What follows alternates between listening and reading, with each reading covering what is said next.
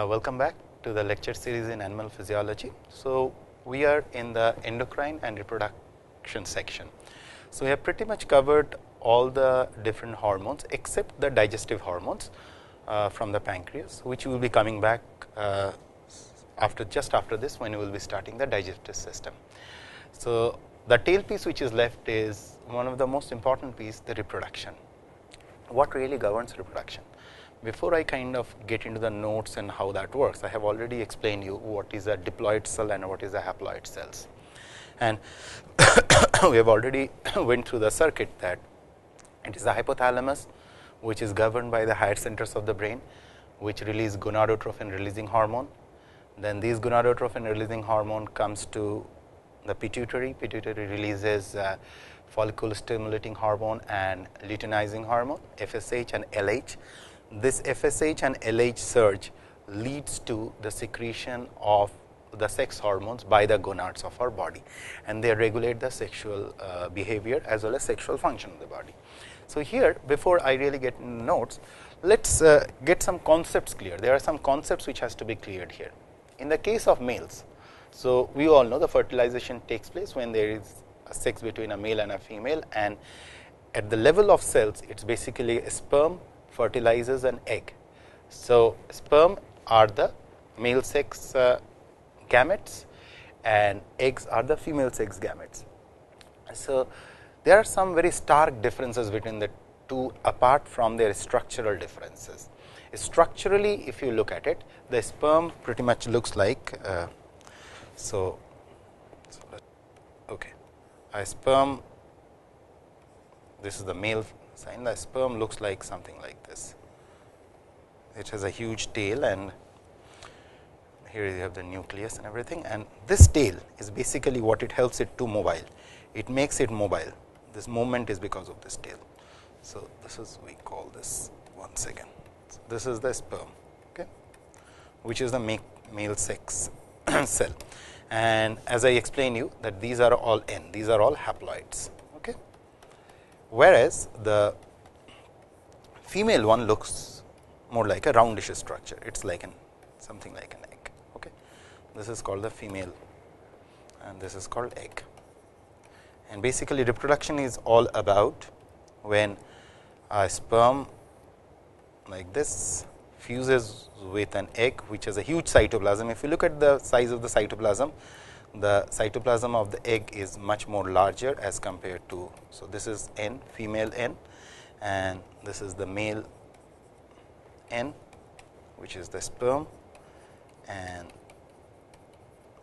when there is a cross between the two. So, basically that is how it works. Here is the egg, here the sperm comes, then there is a set of reaction here called come to that zona reaction. And when this N fertilize with this N, then it leads to something called which has 2 N, this is called a zygote. And uh, this zygote is the first cell which is formed in the mother's womb 2 n this is a zygote and a zygote has two possibilities. It could be so if say for example, if it is in the case of male which is basically a zygote could be we call it an XX or an XY. If it is an XY zygote then this is a male and if it is an XX zygote then this is a female. Okay. So, so this is the contribution, this is the male. So, the female contributes 2 x, whereas the male contribute either it could contribute an x or an y. If it contributes an y, then it leads to a female to a male and if it contributes an egg x, then it leads to a female. So, in other word it is whether it will be a male or a female is actually not determined by the women, it is actually determined by the male. To if you look at from the chromosome perspective, that is how it looks like. Okay. So, now what is so important about is this, what we will be studying is this part and this part, how these are regulated, what regulates the formation of this? And the formation of this in the body as I have already mentioned the formation of this sperm and the egg. This is the egg and this is the sperm and this is the sperm tail. And sperm tail has lot of if you take a cross section of this tail you will see a lot of uh, mitochondria out there which generates a lot of energy for its movement because it has to move a lot okay? It is very motile structure. So this formation of sperm is called spermatogenesis. Spermatogenesis whereas the formation of egg is called the oogenesis. So, what we will be studying essentially is the molecular players molecular players regulating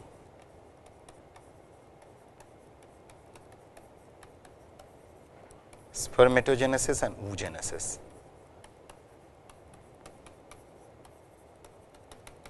Genesis and oogenesis. Uh, oogenesis. So, after defining the problem, what we are going to discuss here, I will highlight two specific aspects.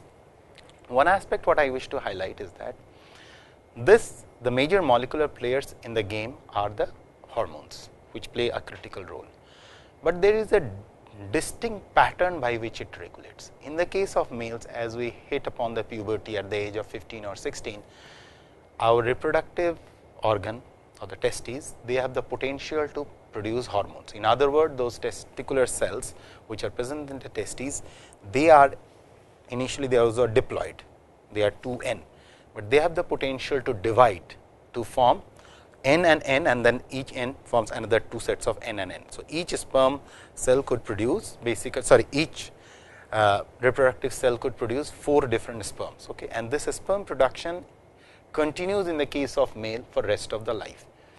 There is no pretty much there is no limit. Of course, the quality of the sperm goes down as we hit upon the age of 50s and 60s, the sperm quality goes down. They are much more you know fragile, they have uh, chromosomal aberrations and everything. Chromosomal aberration means there are defects in the chromosomes because of the aging process take uh, pitches in. Okay. Whereas, in the case of female, the story is slightly different.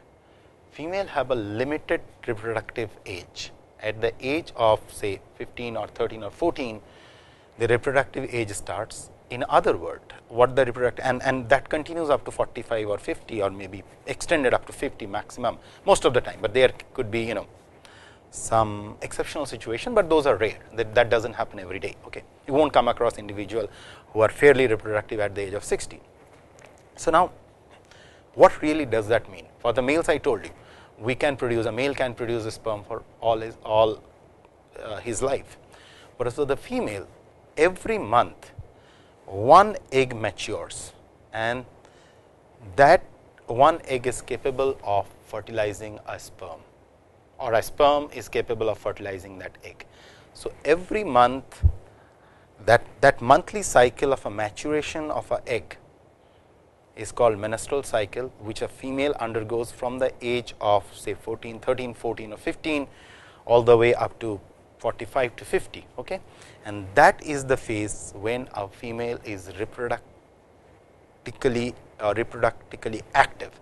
Other than that after that it ceases that whole process of menstrual cycle ceases and they do not produce any fertilized eggs after that.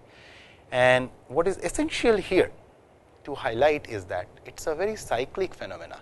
In the case of males across the month or across the years and across the whole life once they hit upon puberty they can produce a sperm. But in the case of females it is a very very cyclic fashion. There is a regulation of say 21 to 28 days when every depending on the female it could it could maybe even up to say 18 days to 28 days to 31 days depending on which where I mean it could be a Caucasian female, it could be a Asian female, it could be an African whatever. Depending on the individual uh, race or place from where the female uh, E belongs to their menstrual cycle varies. It could be 18 days to 31 days. And during this phase what we will be actually highlighting is that during this phase there is a cyclic fashion of secretion of those gonadotrophin hormones, especially the FSH, LH, follicle stimulating hormone and luteinizing hormone. And that is what regulates the whole cyclic process. And at the tail end, we will be talking about when the egg gets fertilized, when a woman is ready to give birth, when the zygote is formed, how this cycle gets stopped and till the child is not born, that cycle remains stopped and how that takes place that is what we are going to discuss. So, talking about this, we will talk very briefly about the male situation, what happens in the male. In the case of the production of the sperm, as I told you, in the males continuously FSH and LH is being produced. This concentration in F of SH and LH remains fairly constant. Okay. And as I have already told you that uh, there are Leydig cells in the testes. So, testes structure is something like that and this is where these different cells are being produced. Okay. So, testes are the one which is responsible for producing of the sperms. Okay. So, there are Leydig cells which support in this whole process FSH and LH helps in the maturity of these uh, sperms and everything. So, this is how the male sex production takes place where there is not much complexity. It is much more simple and there is no cyclicity. It is all throughout uh, the reproductive phase. It goes on and it may goes on forever for the whole life, but best quality of a sperm comes at, at the age of like in 20 to you know 35 or 40 when the best quality which are healthy sperms which has the ability to fertilize the female egg and lead to the production of a healthy baby remains in that age. Now, talking about the female, which is I told you that this is a very cyclic phenomena. So, let us talk about what is happening in the case of females. Okay. In the case of females, so let us again get back to the circuit. So, you have hypothalamus, I am repeatedly drawing this circuit to kind of you know keep the exact track of uh, how this whole circuit is functioning. Okay. Anterior pituitary and then you have the ovaries where these are acting. So, these are GnRH gonadotrophin releasing hormones and anterior pituitary is releasing FSH and LH. Okay. And this FSH LH acts on the ovaries and leads to the production of different sex hormones. So, what we will do now, we will talk about two aspects here. We will talk about menstrual cycle, which I have already mentioned last from for some it is 18 days, to up to 31 days. And what is this cycle? This is here is the important part is this cyclic fashion and we will talk about the fertilization, what happens after fertilization. These are the two aspects what I, we are going to deal in the reproduction. Okay. So, we have already talked about the production of LH and NH. So, LH and FSH. Now, let us start with so, what I will do, I will talk about four parameters. So, assume a cycle is happening in a female. So, before I get into the cyclic thing, let me explain something else here. So, how that maturity is taking place. So, initially what happens, you have something called a primary oocyte, it is something like this. Okay. This is a primary oocyte. So, I am in the oogenesis now. Okay. Primary oocyte, then primary oocyte leads to the formation of something called as secondary oocytes, where the cytoplasm increases in the egg. And these are the secondary oocytes. And secondary oocytes leads to the formation of something called a tertiary follicle. This is called a tertiary follicle. Okay. From the tertiary follicles, this whole process of uh, formation of primary to secondary to tertiary follicle is governed by this whole maturity is governed by FSH follicle stimulating hormones okay? Which is essentially is responsible for the maturity of the follicle after this what happens and this it does so because FSH leads to the secretion of estrogen it is the estrogen which is secreted by these cells in the ovary which leads to the maturity of this from primary, secondary to tertiary. After the tertiaries are formed that it leads to the another level of maturity which is basically called formation of Graafian follicle. So, continuing from the previous one Graafian follicle and from Graafian follicle because of LH surge luteinizing hormone. So, we have talked about the other hormone the FSH, FSH is involved in all the maturity part. Then comes the role of the luteinizing hormone. What luteinizing hormone does is that it leads to basically this part is released, this egg is actually releasing the eggs. Okay?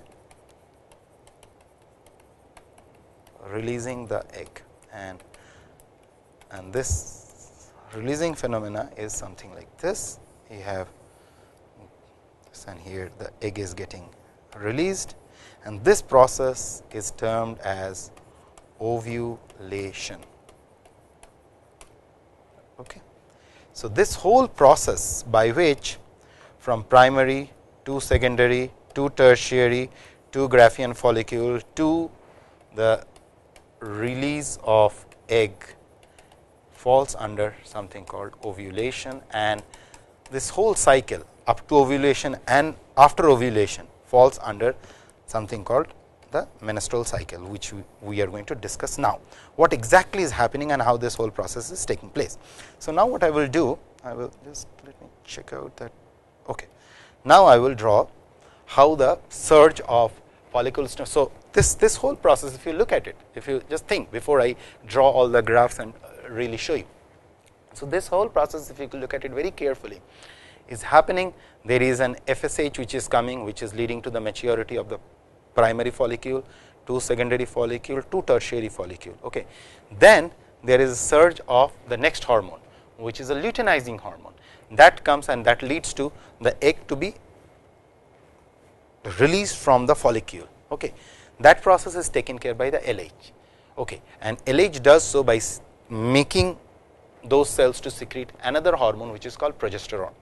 So, in other words we are dealing with four hormones here FSH, LH which are secreted by the pituitary okay step 1.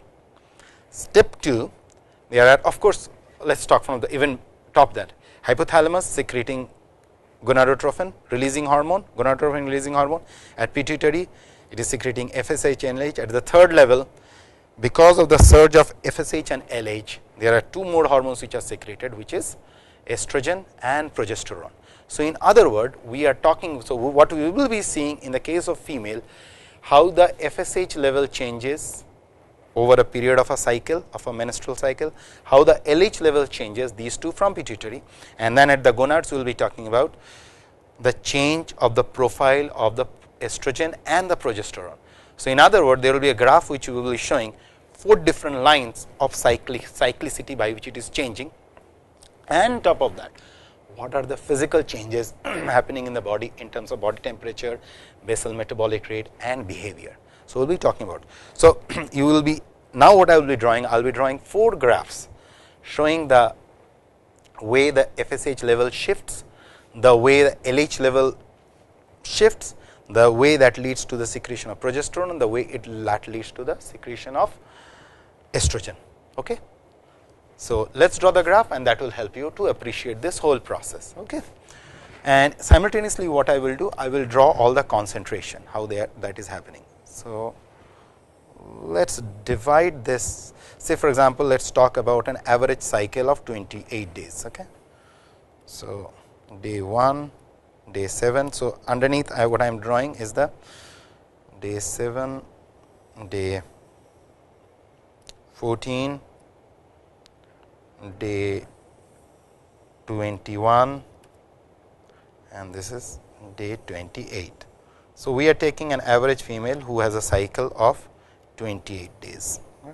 This is the cycle fine. So, after every so, so basically what is happening is this. So, let us divide the phases this is called menstruation phase menstruation phase then the next phase is called follicular or proliferative phase follicular or proliferative phase. Okay. Then on day 21 this is called luteal phase. Okay. Luteal secretory, luteal secretory phase these are the different phases. Okay. So, now what I will do I will divide the graph into 5 different parts which will help you to appreciate it in one go 1, 2, 3, 4, 5. Okay. Now, the first graph we will be talking about from the pituitary at the level of pituitary. So, let us get the scale right. So, at the level of pituitary we are talking about like you know 1, 2, 3, 4, 5. So, the highest limit is 50 and the unit is, so here this is 0, 1, 2, okay. So, just assume it units per liter. So, this is the level of the anterior AP anterior pituitary FSH and LH in the blood. Okay. This, these are all done in the blood. So, I am marking FSH with red and I will be marking LH with blue. So, let us talk about how the FSH is shifting. So, the FSH shift is something like this. It has a basal level somewhere here and then the FSH goes down like this and as we reach somewhere out here FSH level picks up and then it slowly goes down and again start. So, the next cycle. So, here begins the next cycle from here on the next cycle begins. So, this is how the FSH is shifting. So, if you kind of look at it at some time out here, sometime out here in the case of 20 days cycle. So, one more thing I wish to highlight, I will come back to this graph and say. So, depending on your days, like if the cycle is of 18 days, if the cycle is of 28 days or a 31 days, the date of ovulation changes. So, in case of an averaged 40 uh, 28 days cycle, the ovulation generally takes place at the time of 14th day 14. Okay. So, now if you come back to the graph, you will say that the major rise took place around day just before day 14 out here. Okay. So, if I, if this is seventh day, this is day 14, this is one second, this is day 14. Okay. So, just before day 14. So, this is the ovulation that is why I marked it as a as a red circle. Okay. This is the ovulation phase when it is taking place. Now, let us see how the LH is going. LH simultaneously LH remains fairly low all throughout okay. and then it starts picking up here and it reaches somewhere like this it reaches the highest peak and then it starts falling down again and goes down like this. So, if you look at it around day 14 which is here out here LH is maximum. So, as I was telling you there is a cyclic fashion. So, the FSH just before day 14 FSH hits the peak and then followed by with a slight delay out here look at it there is a small delay then the next peak starts. Now, simultaneously what is happening because we know FSH leads to the secretion of now let me FSH leading to the secretion of your estrogen estrogen or estradiol, okay, whereas LH leads to the secretion of progesterone. So, now we will define how these two hormones are changing their profile. So, their level is if, if in this graph. So, again put the amount which is essential. So, they are far more low 0.4. So, this is microgram per liter of blood. Okay. Now, this is the estradiol level and and compared to estradiol the estrogen level is higher. So, if I have a corresponding uh, corresponding. So, let us pick up two colors first. So, I am putting estrogen, estrogen as uh, in green and I am using a gray color for progesterone. Okay. So, the progesterone level is higher actually progesterone level if I had to draw a graph for progesterone. So, that will be like you know the top thing will be 16 microgram per ml per liter. Okay. So, progesterone level progesterone secretion is much more higher as compared to estrogen level. So, if you tally this what happens now let us talk about what is happening to the estrogen how the estrogen behaves. So, the estrogen level moves like this and as you could see where this one is picking up estrogen level exactly picks up fairly close to it and then there is a small hump and then it goes down like this. So, if you tally estrogen level, estrogen is close to the same peak of as almost the same peak as the FSH, because FSH stimulates the secretion of estrogen. So, that is why you see they are in close sync FSH leading to the secretion of the estradiol or estrogen. What happens next? Now, let us talk about the progesterone level. Now, the progesterone level this is just like your uh, LH that remains fairly low out here and mind you the progesterone secreted a fairly high amount and as it reaches and it remains like that almost up to day 14 and then there is a rise in progesterone big time out here and that continues and then it goes down. So, the progesterone level here you see the peak of the here you see the peak of the uh, luteinizing hormone and here you see the peak of the progesterone. So, if you look at this cyclicity, the FSH out here, FSH, here you have the LH, here you have the estrogen and here you have the progesterone. This cyclic fashion continues month after month during the reproductive phase of a woman and this cycle is actually called the menstrual cycle, but in this process. So, this is what you are seeing what is happening inside the body. These molecular players are changing their concentration, but there is something else which is expressed. So, every month there is a blood discharge from the women body in the form of menstrual discharge that menstrual discharge is nothing, but the process by which a female rejects the unfertilized egg from the body. And this process what we are going to deal now is I will tell you I showed you this diagram just before this. Okay, This how to from primary, secondary to tertiary to the whole process. So, now I will explain it in terms of where exactly this thing happening. So, now we will talk about the follicular development let us come back to the follicular development. Okay. With respect to this follicular development or you can call it a part of that whole game of called oogenesis, the process where this. So, what essentially is happening at this part of the graph is basically you have an immature follicle like this, what I draw as a primary follicle, okay. Immature follicle.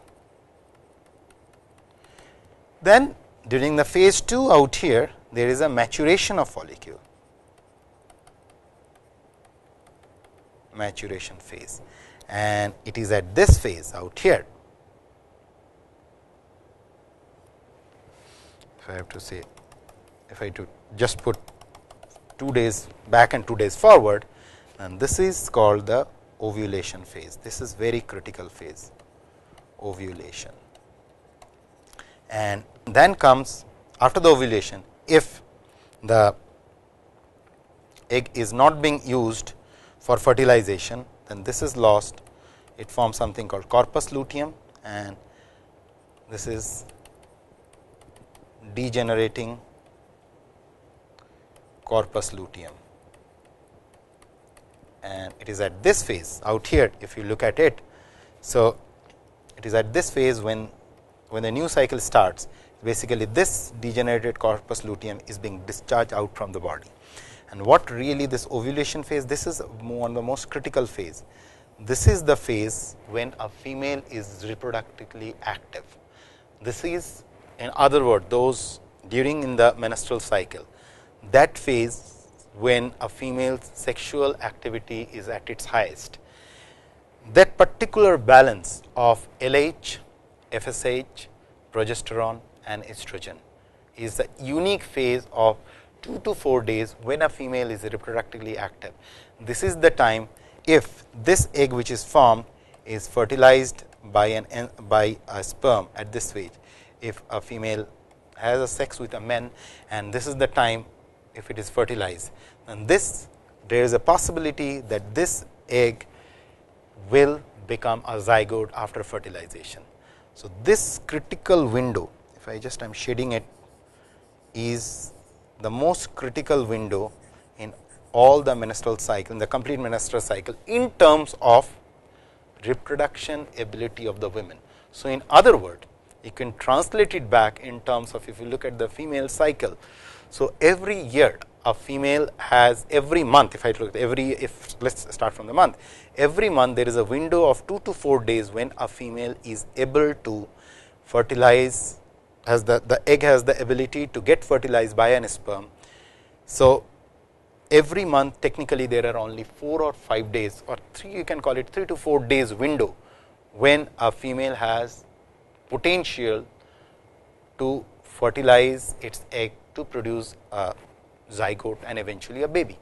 So, in other words, if you look at it the actual reproductive activity of female over a period of year will be around 48 to 60 days that is it every month and other than that at any phase if a female is having a sex on any other phase other than this if I go back any of these phases most unlikelihood that could lead to a formation of a baby.